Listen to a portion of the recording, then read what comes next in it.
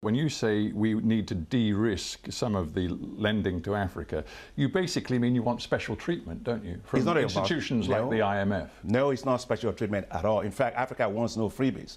We have the instruments to this. Let me give you Well, some- it is, it is But let me- special treatment because you want these special drawing rights from the IMF. They're literally called special drawing rights. Yeah, but, I, but I'll tell you, you know, take a look at what we're talking about here.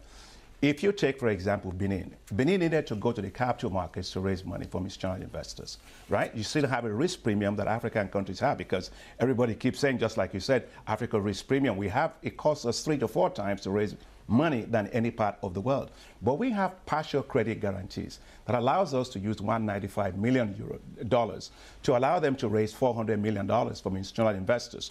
We did the same also for Senegal. We did the same for Cote d'Ivoire with $400 million to raise $530 million. What that does is it allows you to go into the capital markets, allows you to raise money long term and at a lower interest rate. And that is how we de risk investment. That's very, very important. We just did something for, uh, by the way, for, uh, for, for Egypt we gave them uh, partial credit guarantee that allowed them to go issue panda bond $500 million on the capital markets uh, for, uh, you- uh, for China.